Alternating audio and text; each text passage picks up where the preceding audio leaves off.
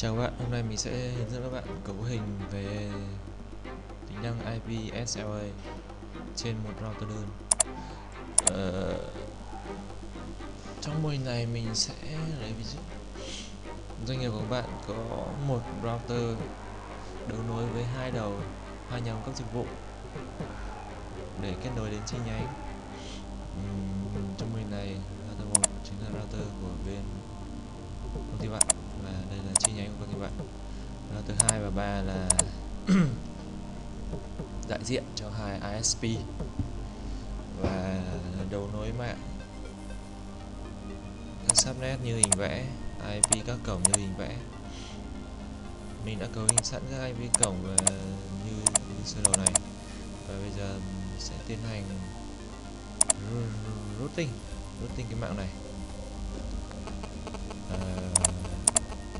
Cho quá trình lab nó diễn ra nhanh chóng thì mình sẽ tiến hành luôn.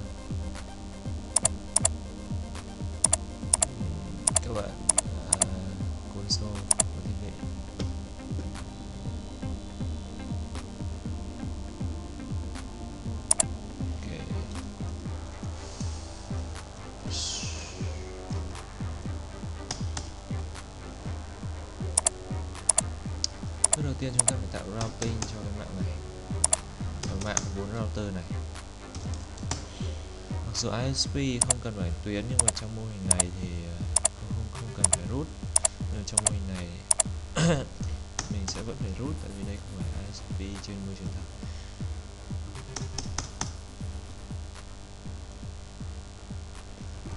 Root cái mạng 24 và mạng 34 này.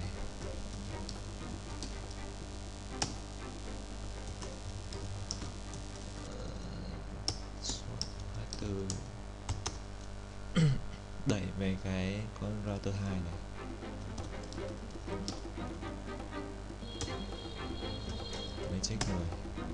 Đúng cái mạng đấy mình đẩy qua router 3 mình check là thấp hơn. Và rút cái mạng tiếp theo là cái mạng 34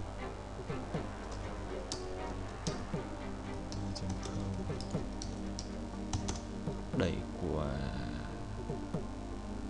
đẩy qua router 3 sẽ magic thấp nhất.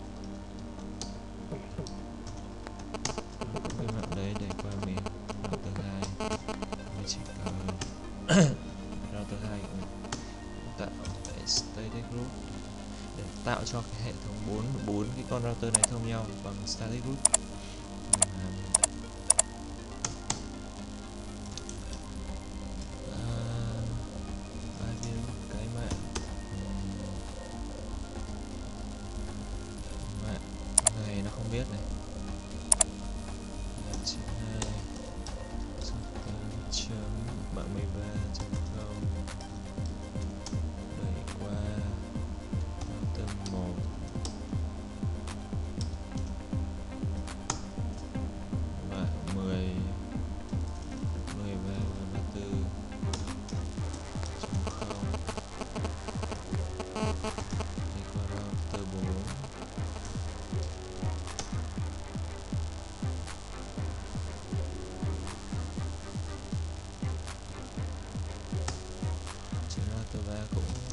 tự, nó không biết hai bạn này. Mình rút cho nó.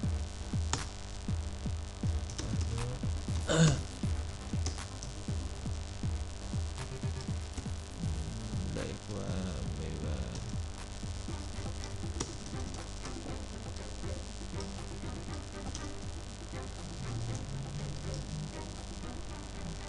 mấy và chấm một. Cái mạng hai mươi bốn chấm không.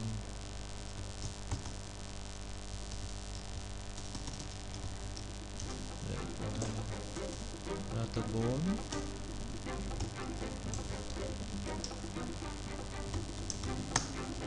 trên 4 generator chi nháy thì bạn đường đi tối ưu sẽ từ R123 à 124 và 421 đi backup là một ba bốn và bốn ba một.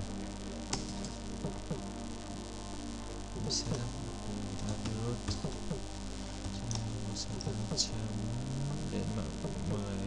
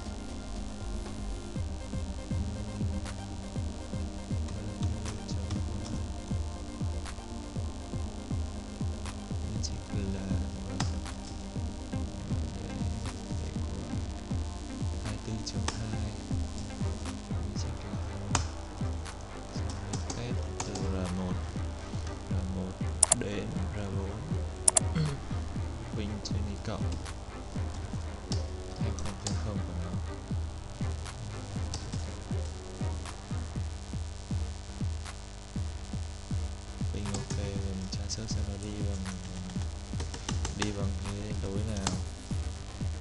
Để qua mình 2.2 xong rồi đến 2.4 và thật sự như trong trường hợp router của các bạn ví dụ như in tổng thể 0.0 nó bị tắt. Ta đi, mình ping thử. Xem đến không đến thì cái mình test xem nó đi bằng đường nào? Sẽ đi bằng đường 13.3 xong rồi là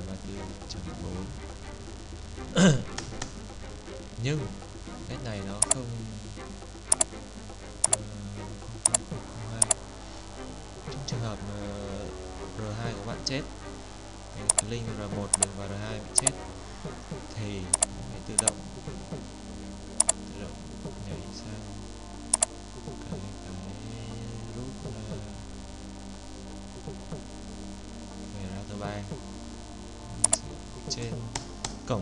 cổng của SP down thì sao? Thì nó sẽ vẫn đẩy về cái ờ, cái cái cái ờ, black hole là của router 2 mình sẽ tạo ra một cái black hole ở đấy. Nhưng điều này thì không tốt.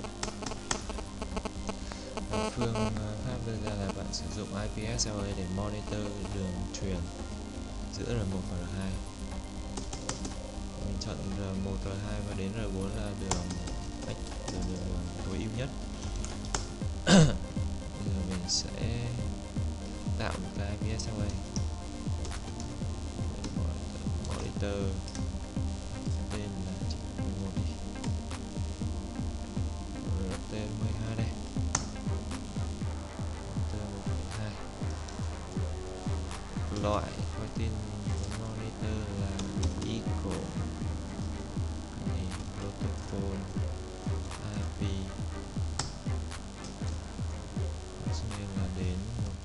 Chấm chấm. À, thứ hai chấm hai. Và tần số tần số của cái IP ICMP của 6 giây một phát. Xong mình exit và tiến hành tạo check object 10 với cái gian. Thời gian báo cáo. Chắc cái loại thể loại này trên với 11 và 12 cái này thì mình sẽ delay. Nếu không trả lời trong delay down cho 10 giây. 10 giây không trả lời nó sẽ tự động nhảy sẽ tự động xóa nút up, một giây delay up một giây. Set exit để mình tạo cái nút uh,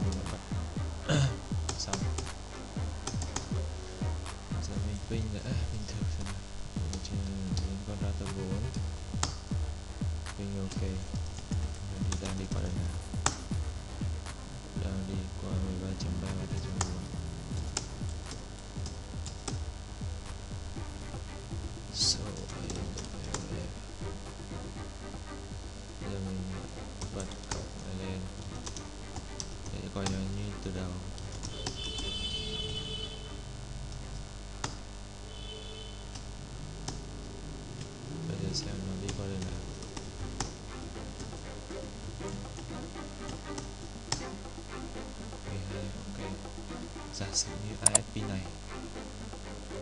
Trên R2 ISP trên R2 với cổng à, uh, interface F0 trên 0 ta đi. Okay. trong 6 trong 6 giây mỗi lần mỗi 6 giây nó gửi một ping một phát. Nếu mà không không lấy phản hồi trong 10 giây coi như nó sẽ xóa cái bảng IP root. Xóa cái bảng định tuyến đấy. Định tuyến à, đẩy qua cái matrix mình check đấy thì trong bây giờ không không thấy không thấy phản hồi. Thì nó sẽ đẩy sang ưu tìm cái đường route tiếp theo. Nó trích thấp hơn. Trận pin này vì vẫn pin được. Mình xem. Đẩy qua đường này. Nó sẽ đẩy qua 13.3 ok rồi